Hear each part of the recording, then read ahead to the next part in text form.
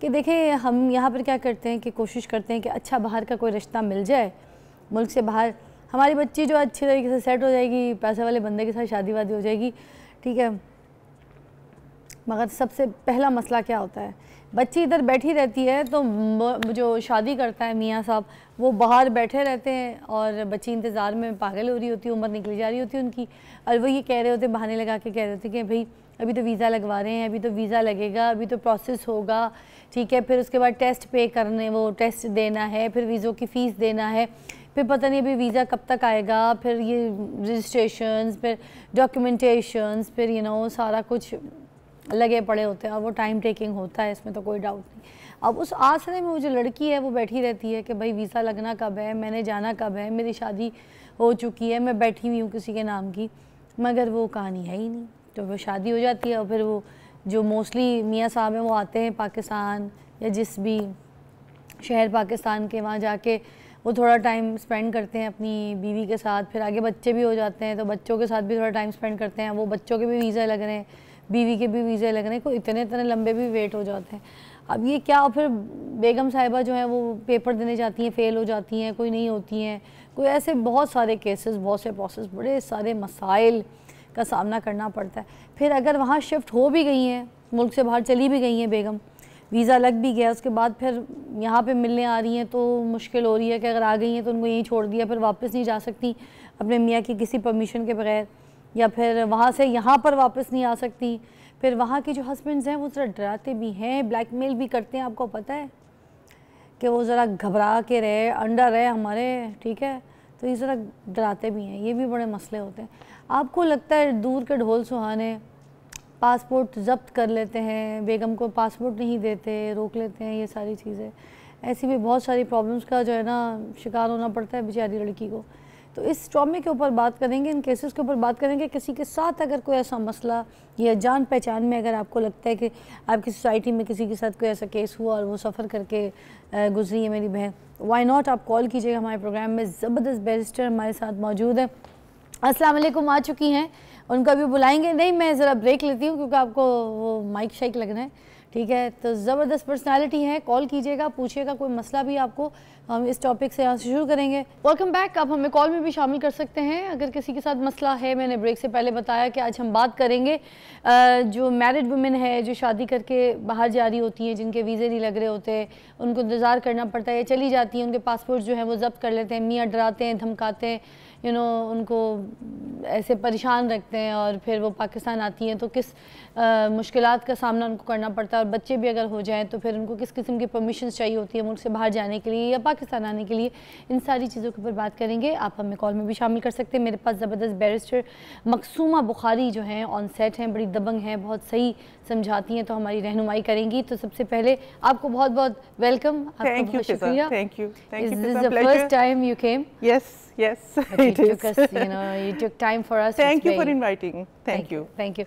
तो मुझे सबसे पहले यही बात मैं चाहूँगी यहाँ से शुरू करें कि जो बैरून मुल्क शादी की जाती है बेटियों की उनके अच्छे मुस्तकबिल के लिए पेरेंट्स सोचते हैं कि चलो अच्छा रिश्ता हो जाएगा मुल्क से बाहर चली जाएगी सेटल हो जाएगी अच्छा खाता पीता लड़का होगा डॉलर में कमाता होगा स्टाफ ऑल तो फिर उसके साथ जो सिचुएशंस होती हैं क्या क्या मुश्किल होती हैं जिनका सामना करना पड़ता है वो जी अच्छा एक बात तो ये है कि ये मुआशी हालात हमारे मुल्क के ऐसे हैं कि वाकई लोग सोचते हैं कि हमारा बेटा या बेटी जो है वो मुल्क से बाहर चले जाएँ तो उनके लिए अच्छा होगा। लेकिन ये काफ़ी बड़ा जुआ है। वैसे तो शादी एक बड़ा जुआ होता है, लेकिन ये बहुत ही बड़ा जुआ है क्योंकि आपकी बेटी वहाँ पे बिल्कुल अकेली होती है। नाइन्टी परसेंट ऑफ़ शादियाँ जो हैं वो कामयाब होती हैं, ये भी ये कोई ऐसी बात नहीं है। लेकिन जो ख़राब होती हैं वहाँ पे जाके वो बहुत ख़राब होती हैं। और वो इस तरह ख़राब होती हैं कि मसलन यूरोपियन मुल्क जो है, अमेरिका है, ऑस्ट्रेलिया है, वहाँ पे आप जब अपनी बेटी को भेजते हैं तो अक्सर अवकात उसको कुछ मालूम नहीं होता उस मुल्क के बारे में। उसको नहीं पता होता कि उसने कहाँ से हेल्प सीख करनी है। अगर उसका खामिद वहाँ पे उसको मारता है तो उसने क्या करना है? और ऑब्वियसली वो वीज़े पे गई होती है।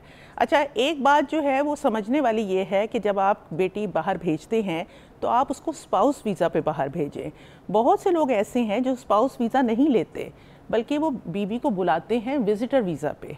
और विज़िटर वीज़ा का मतलब होता है कि वो छः महीने के बाद उसका ख़त्म हो जाता है। अब वो टोटली डिपेंडेंट है अपने खामिन पे। लेकिन अगर स्पाउस वीज़ा भी होता है तो भी वो डिपेंडेंट होती है जब तक उसकी कंफर्म नहीं होती। इस दौरान इतनी हॉरर स्टोरीज़ हैं फ़िज़ा के आप सुन के हैरान होंगी। ऐसी ऐसी ख़वातीन मेरे पास आई हैं जो कि जिनको लोगों ने इंजेक्शंस देते थे जिनको एक तरह का मेड बना इंजेक्शन नींद के इंजेक्शन दे दिया जाते थे ताकि वो किसी से बात ना कर सके। जब वो थोड़ी सी वोकल होना शुरू हुई तो उनको वो नींद के इंजेक्शन दे के सिला देते थे। और ये लोग का जाहिल नहीं हैं। ये काफ़ी मिडिल क्लास किस्म के लोग हैं। मतलब एक फैमिली मेरे पास थी जो कि डॉक्टर्स की फैमिली थी। Entire family was all doctors और वो इस लड़की को शादी करके लेके गए अमेरिका। जब वो वहाँ जाती है तो उसको एक मेट की तरह तस्वुर किया जाता है। थोड़ा सा एहतजाज जब होता है तो उसको मारपीट होती है। उसको नहीं पता कि उसने कहाँ जाना है, किससे हेल्प कॉल करनी है। ना उसको कोई नेबर्स के साथ ताल्लुकात है, ना उसकी किसी से दोस्ती है। तो ऐसी सूरत में वो पाकिस्तान भी नहीं आ सकती। अपने पाकिस्तानी पासपोर्ट पे भी नहीं आ सकती, क्योंकि उसका पासपोर्ट जो है वो ले लिया जाता है। और अगर उसका पाकिस्तानी पासपोर्ट हो भी तो उसके फाइनेंसिस नहीं होते। कि वो मुल्क से बाहर आ सके। लेकिन जहाँ तक वहाँ की सेटलमेंट का ताल्लुक है, वो तो वो कर ही नहीं सकती बेचारी, क्योंकि वो टोटली डिपेंडेंट है अपने खामिन के स्टेटस के ऊपर। तो ये बातें जो है ना, ये बहुत, हम बड़ी खुशी से कह देते हैं कि हमारी बेटी कनाडा जा रही है, हमारी बेटी ऑस्ट्रेलिया जा रही है, लेकिन वहाँ जाके आपके साथ क्या होगा? अच्छा फिर ये भी होता है कि जब वो वहाँ से चली जाती हैं और वो उनके ख्याल के मुताबिक वो बिहेव नहीं करती तो फिर वो उनको वापस ले आते हैं। वापस ला के तो वो अगेन उनके सारे जो डॉक्यूमेंटेशन हैं उनसे ले ली जाती है और फिर उसको यहाँ छोड़ दिया जाता अच्छा, है। अगर एक चीज़ मैं आपसे पूछना चाही थी बीच में कि ठीक है कानून तो सेकेंडरी बाद में प्रोसीड किया जाता है ना? पहले तो प्रोसीड होती है complain which is in the police station and every आपका मतलब पाकिस्तान में? पाकिस्तान में भी पाकिस्तान से बाहर भी जो पहला स्टेप होता है वो तो पुलिस स्टेशन में कंप्लेन का होता है ना? पुलिस को बाहर के मुल्कों में भी you call police and you tell you know this is going to be ये ये मुझे डराया जा रहा है ये वो। तो वो लड़की जब पुलिस को फ़ोन करती है तो कितना उसके लिए पॉजिटिव होता है या फिर उसको कोई ऐसा डर देखिए अगर वो कंप्लेन नहीं कर सकती? अगर वो बाहर के मुल्क में है और वो वहाँ पे बरतानिया में नाइन नाइन नाइन कॉल करती है पुलिस आ जाएगी और डोमेस्टिक वायलेंस को वो काफ़ी सीरियसली लेते हैं। अब लेकिन वो अगर आएगी और वो उनको उसको ले जाएगी तो अगर उसका इमिग्रेशन स्टेटस जो है वो ठीक नहीं है तो क्या होगा उसके साथ? उसको वापस भेज दिया जाएगा पाकिस्तान। अब पाकिस्तान आने के लिए उसको पाकिस्तान वापस आती है, लैंड करती है अपनी फैमिली के अंदर तो यहाँ पे और मसाइल हैं। यहाँ पे एक सोसाइटी का प्रेशर है। यहाँ पे है कि तुम्हारे खामिद तुमने अपने खामिद के ख़िलाफ़ जो हमारे माशरे की चीज़ें हैं कि अपने खामिद के ख़िलाफ़ तुमने बाहर जाके कंप्लेंट की और फिर उसने तुम्हें, पुलिस ने तुम्हें वापस भिजवा दिया, यहाँ पे डिपोर्ट करवा दिया। और एक दफ़ा आप वापस आ जाते हैं तो फिर वापस जाना बड़ा मुश्किल है, क्योंकि यहाँ रहना भी मुश्किल है, क्योंकि माँ बाप और फैमिली और जितने भी सोसाइटी के लोग हैं, वो उसको कुछ कहते हैं, हज़ार बातें सुनाते हैं तो वो समझती है कि मेरे लिए बेहतर है कि मैं वापस चली जाऊँ। जब वो वापस जाना चाहती है तो वापसी के लिए भी उसके पास कोई रास्ता नहीं होता अनलेस के कोई बच्चा हो जाए और बच्चे का पासपोर्ट जो है वो वहाँ का हो। अगर बच्चे का पासपोर्ट तो वहाँ का है पैदा होता है तो वो तो पासपोर्ट उसको होल्डिंग तो मिल जाती पासपोर्ट है होल्डिंग तो मिल जाती है सिवाय इसके कि जो अरब मुल्क हैं। अरब मुल्कों में नहीं होता लेकिन ये है कि वो वापस जाना उसके लिए जो है वो बहुत ही मुश्किल हो जाता है। और लेकिन अगर उसकी कोई औलाद है या उसका कोई परमानेंट स्टेटस वहाँ पे हो गया हुआ है तो फिर उसको फौरी तौर पे उसको रजू करना चाहिए। अगर बच्चे हैं तो फिर बच्चों के लिए उसको यहाँ पे कस्टडी लेनी पड़ेगी क्योंकि यहाँ से पाकिस्तान से क्योंकि इस्लामी मुल्क है बाप जो है वो नेचुरल गार्डियन है तो वो बच्चों को लेके बगैर इजाज़त के नहीं जा सकती। तो अब यहाँ से जो शादी करके लोग लेके जाते हैं वहाँ पे उधर मुल्क में ले जाकर रजिस्ट्रेशन तो करवाते हैं उधर के मुल्कों की शादी को लेके ठीक है ना? उस रजिस्ट्रेशन से भी कोई फ़ायदा नहीं होता शादी फ़ायदा तो जब तक नहीं होता ना जब तक आप वहाँ पे कोई आपका कोई इमिग्रेशन का स्टेटस नहीं होता। आप वहाँ जाके रजिस्टर करवा देते हैं लेकिन काफ़ी साल लगते हैं। मुख्तलिफ़ मुल्कों के मुख्तलिफ़ टाइम पीरियड्स होते हैं। इससे पहले कि आप बने आपको वहाँ की कोई नेशनैलिटी या परमानेंट रेजिडेंसी मिले। तब तक कोई फ़ायदा जब तक कोई फ़ायदा नहीं है। जब तक सिर्फ़ ये है कि हाँ आप वहाँ रह रहे हैं लेकिन आप रह रहे हैं उस आदमी की वजह से। और अगर आदमी जो है वो आपके साथ ज़्यादती कर रहा है या उसकी फैमिली आपके साथ ज़्यादती कर रही है मेरे पास एक खातून थी जो कि जिनका एक बेबी था। और उनकी सास ने वो बेबी जो है वो सीढ़ियों से फेंका नीचे। और उसके बाद पुलिस को इन्फॉर्म किया और बताया ये कि जो मेरी ये जो बहू है ये लड़की जो है इसने फेंका है। क्योंकि ये प्रेगनेंसी के बाद से इसको डिप्रेशन है और पोस्ट नेटल डिप्रेशन जिसको कहते हैं और ये अपने दिमाग में नहीं थी तो इस तरह इसका बच्चा जो है गिर गया। अब उससे क्या हुआ कि वहाँ की जो चाइल्ड प्रोटेक्शन एजेंसीज़ हैं वो सारी की सारी ने घिराव कर लिया इस लड़की का।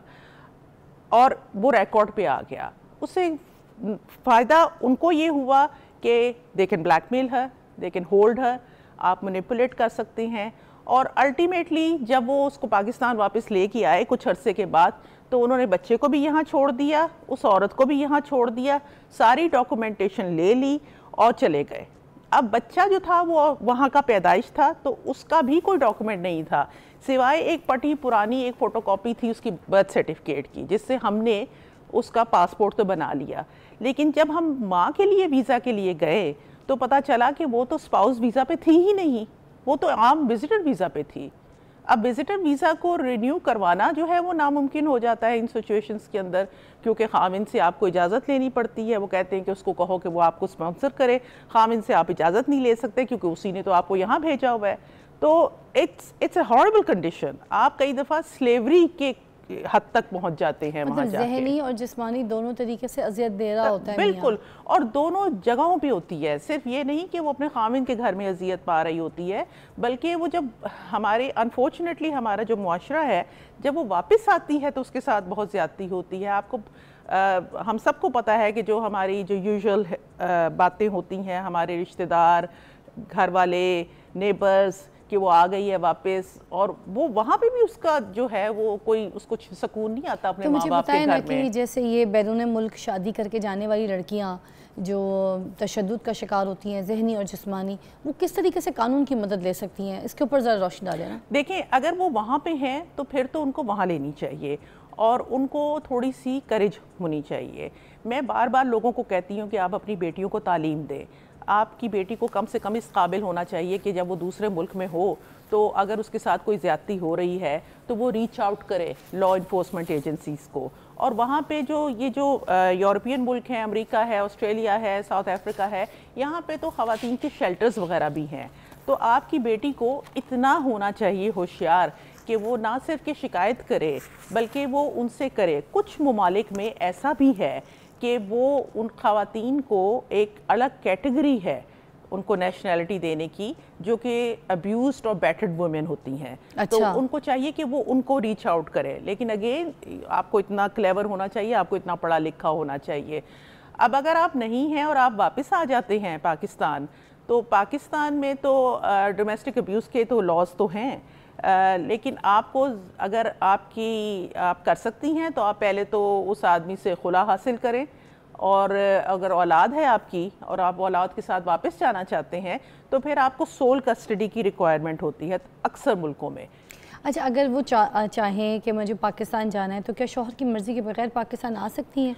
और फिर वापस भी जा सकती हैं अपने बच्चे या फिर अकेली खुद वापस अपने शोहर के पास जा सकती हैं विदाउट एनी परमिशन डिपेंड करेगा ना कि उसके पास उसका स्टेटस क्या है वहाँ पे। उसका स्टेटस क्या है? वहाँ पे इमिग्रेशन का स्टेटस क्या था? पाकिस्तान तो वो आ सकती है। अगर वो टिकट ख़रीदने के काबिल है तो वो आ सकती है। अगर उसके हालात बहुत ही बुरे हैं वहाँ पे और पुलिस तक मामला चला गया है तो वो पाकिस्तानी कौंसलेट में भी जा सकती है और उनसे भी मदद कर सकती है। पाकिस्तानी कौंसलेट कितना हेल्पफुल है ये डिपेंड करेगा। आ, लेकिन जब वो यहाँ आ जाती है तो अनलेस कि उसके पास कोई ऐसा स्टेटस हो कि वो वापस जा सके उसके पास कोई परमानेंट रेजिडेंसी हो या उसका वीज़ा भी वैलिड है? अच्छा मेरे पास रिजवाना है जिनके साथ इस तरह का केस हुआ है। रिजवाना सैयद है लाहौर से और जब वो इस सिचुएशन के ऊपर बात करना चाह रही हैं वाई नॉट अस्सलाम वालेकुम जी रिजवाना जी। कैसे हैं आप लोग? ठीक ठाक रिजवाना। क्या मसला हुआ था आपके साथ बताइएगा जी। जी मेरा बाहर मेरे हस्बैंड होते थे। अच्छा। मेरी शादी हुई और फिर हमारे वहाँ बच्चे भी थे। फिर अच्छा। मैं अभी थोड़े दिन थोड़े साल पहले वापस आ गई वहाँ से। अच्छा। कुछ मामला ऐसे थे कि मुझे वापस आना पड़ा। हाँ। अब जो बच्चे यहाँ पे मेरे बॉर्न हुए हैं उनके वीज़ा के और पासपोर्ट के बहुत इश्यूज़ हैं। अच्छा। हालाँकि हमारे पास सिटीजनशिप भी थी फिर भी हमारे मसाइल हैं। आपकी भी थी? आपकी भी थी सिटीजनशिप थी आपकी? जी। अच्छा मेरी भी थी और मेरे शोहर की भी। ठीक है। तो बच्चे आपके वहीं पैदा हुए थे? कहाँ किस मुल्क की बात कर रही हैं आप? कौन सी कंट्री की? कनाडा की। कनाडा की। तो अभी अभी जो है बच्चों के वीज़े के मसले चल रहे हैं सब कुछ चल रहे हैं क्या चल रहा है? मतलब कुछ समझ नहीं आ रहा। जी जी जी। जो बच्चे यहाँ पैदा होते हैं हाँ। उनके जो पासपोर्ट बनाने होते हैं वो फिर माँ बाप के दोनों के साइन चाहिए होते हैं। अच्छा। और आपको पता है जब जब मामले खराब हो जाए तो जो उमूमन आदमी जो होते हैं, वो फिर तरह की चीज़ों में आपको मुश्किल ही होती है कि आपको साइन वगैरह मिले। क्योंकि उनको पता होता है कि आप यहाँ पे बैठे हैं तो आप मजबूर हैं, यहाँ पे आपको उस तरह से हेल्प नहीं मिलती है। पर आप जब बाहर चले जाएँगे, अपने वतन वापस चले जाएँगे तो वहाँ पे उन मुल्कों के जो रूल्स होते हैं, वो दूसरे होते हैं। वो औरतों को सपोर्ट ज़्यादा करते हैं, बच्चों को भी उस तरह से सपोर्ट करते हैं। तो अमूमन ऐसे लोग जानते हैं कि अगर ये यहाँ से चली गई तो ज़्यादा स्ट्रांग हो जाएँगी। इसलिए वो आपको हम्म, फिर दूसरे जब आप छोटे बच्चों को पासपोर्ट लगाते हैं तो जो दूसरा पेरेंट होता है उसकी साइन के आपको फिर बहुत मसाइल होते हैं। तो अच्छा। इस तरह के मैं अभी देख रही हूँ। ठीक है इस पर हम बात करते हैं। अच्छा आपने एक और हमें पॉइंट दिया thank you so much ji क्या कहेंगी आप? ऐसे हालात में पहले तो आपको रजिस्टर करवाना पड़ता है काउंसलेट में, जिस भी एम्बेसी से आपका ताल्लुक़ है, अगर कनाडा है, बरतानिया है, अमेरिका है, जो भी है तो आप एम्बेसी में कांटेक्ट करें, क्योंकि ये तो सिटीज़न है। तो ये जा सकती हैं और बच्चे को रजिस्टर करवा सकती हैं। लेकिन प्रॉब्लम होगी इनको, जैसे ये खुद कह रही हैं पासपोर्ट बनवाने की। क्योंकि पासपोर्ट बनवाने के लिए दोनों माँ बाप का कंसेंट चाहिए होता है। और ज़ाहिर है कि बाप तो इसके अगेंस्ट है, बाप तो रखना चाहता है इनको यहीं पे। तो कंसेंट कैसे आएगा? उसके लिए हल ये होता है कि आप पाकिस्तान में गार्डियन कोर्ट के अंदर एक जो दावा है वो फ़ाइल करते हैं, जिसमें आप कस्टडी सीख करते हैं सोल कस्टडी अच्छा अब वो भी आसान नहीं होगा, क्योंकि वो जो बाप है वो इस बात पे कंटेस्ट करेगा, क्योंकि this is the whole point कि वो चाहता ही नहीं है कि आप जाएँ और वो कस्टडी जो है वो आपको लेने नहीं देगा। तो लेकिन वो लड़नी पड़ेगी। और अदालतें पाकिस्तान की भी जो हैं, वो भी ख़वातीन के बातों में बहुत हद तक समझती हैं। और ये बड़ा एक अच्छा ट्रेंड हो गया है पाकिस्तान में अदालतों में कि जब वो बताएँगी कि ये मेरे सब बच्चे जो हैं, वो ऑस्ट्रेलिया के या कनाडा जहाँ के भी हैं ये तो वहाँ के हैं, सिटीजन्स हैं और ये मुझे ज़रूरत है। तो आई एम श्योर कि इनके साथ सिंपथेटिक सलूक किया जाएगा। और एक दफ़ा इनको सोल कस्टडी मिल जाती है तो फिर ये वो डॉक्यूमेंट लेके तो वो अपनी एम्बेसी में रिलेटिव एम्बेसी में जा सकती हैं और वहाँ जाके तो फिर बता सकती हैं। अच्छा इनको कुछ और ऑर्डर्स वगैरह भी ले लेने चाहिए अदालतों से। एक हरासमेंट का ऑर्डर होता है कि ये आदमी मुझे तंग कर रहा है ताकि सबूत आ जाए कि ये सारा कुछ जो हो रहा है और कोई पुलिस के अंदर कंप्लेंट कर दें।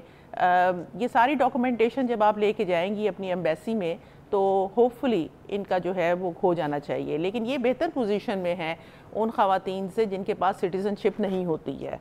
अच्छा ये जो लड़कियाँ आती हैं मोस्टली खुद भागकर वापस आती हैं फिर उनको ज़बरदस्ती वापस भेजा जाता है? जो कुछ केसेस में तो जहाँ पे बहुत ज़्यादा फ़िज़िकल और मेंटल अब्यूज़ होता है, वहाँ पे तो ख़वातीन जो हैं वो वहाँ से निकल कर वापस आ जाती हैं, क्योंकि और वो कहाँ जाएँ? उनको कुछ समझ में नहीं आता कि वो वहाँ की जो मैकेनिज़्म है, जो लीगल मैकेनिज़्म जो प्रोटेक्शन दे सकता है, उसको कैसे अप्रोच करें? तो वो वापस आ जाती हैं पाकिस्तान। अब वो पाकिस्तान वापस जब आती हैं तो फिर कई दफ़ा ऐसा भी होता है कि वो कहते हैं कि वापस चलो। क्योंकि वो तो भाग के आई होती हैं। लेकिन वो बहुत डेंजरस सिचुएशन होती है, क्योंकि जब वो वापस वहाँ लेके जाएँगे तो फिर वो इससे भी बुरा सलूक करेंगे। तो इस हालत में अगर आप वापस नहीं जाना चाहती तो फिर तो आपको यहाँ पे जो है अदालती कार्रवाई जो है वो करनी चाहिए। आपको खुला के लिए अप्लाई करना चाहिए, ताकि आप उससे कम से कम शरई तौर पे और कानूनी तौर पे वो आपका खामिन ना रहे। अगर आपकी औलाद है तो आप उसकी कस्टडी लें। एक इंटरेस्टिंग बात है कि ऐसे जो हस्बैंड्स होते हैं वो अक्सर अपने बच्चों को कोई ख़र्चा नहीं देते। और ये एक बहुत अच्छा वेपन है ख़वातीन के पास अगर वो इसको इस्तेमाल करना चाहें। क्योंकि मेरी जो जितना भी तजर्बा है अ, वो कोई तीस साल का तजर्बा है मेरा। और तीस साल में मैंने ये देखा है कि अगर वो जो वो बाप जो कि सिर्फ़ तंग करने के लिए कस्टडी के लिए कंटेस्ट करते हैं वो फ़ौरन भागते हैं जब उनके ऊपर ख़र्चे का दावा होता है। अच्छा। क्योंकि ख़र्चा जब तक आप नहीं देंगे जब तक आप कस्टडी बच्चों की नहीं ले सकते पाकिस्तान में। ठीक है। तो और आपको विजिटेशन राइट्स नहीं मिलते। तो एक रास एक जो वेपन है ऐसी खातन के पास कि ऐसे हस्बैंड्स को और ऐसे फादर्स को अपने से दूर रखें बच्चों से औलाद से दूर रखें वो ये है कि आप उनसे ख़र्चे का दावा करें। और आप देखेंगे कि 90 परसेंट ऑफ़ जो इस तरह के लोग होते हैं वो वहीं से गायब हो जाती। है thank you thank you so much बहुत बहुत शुक्रिया आपने हमें आज बड़ा अच्छा गाइड किया। I hope it help somebody हमारे साथ मकसूमा हमारे साथ थी। अभी एक ब्रेकिंग न्यूज़ है हम दोबारा आपको ज्वाइन करते हैं। Thank you